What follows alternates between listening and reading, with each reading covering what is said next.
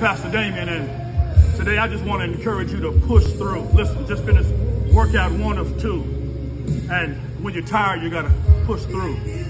When you're ready to quit, that's when you got to push through. When you're frustrated, that's when you got to push through. When it feels like the weight of the world is upon your shoulders, that's when you got to push through.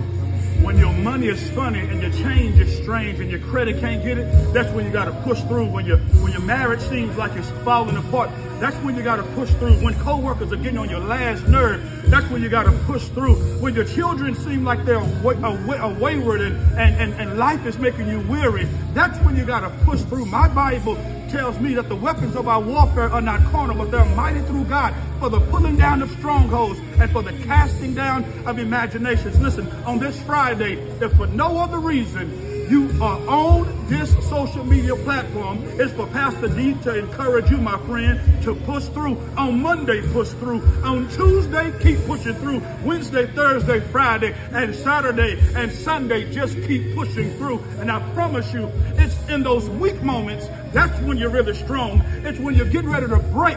That's when you're really going to find your strength. So please, my friend, please, my brother, please, my sister, it's too soon to give up. You've come too far to give up. You've made too many strides to let your hair down and to throw in the towel. Push through, push through, push through. I'll holler at you Monday. But this is Damien Williams and Pastor D, and I approve this message. Push through.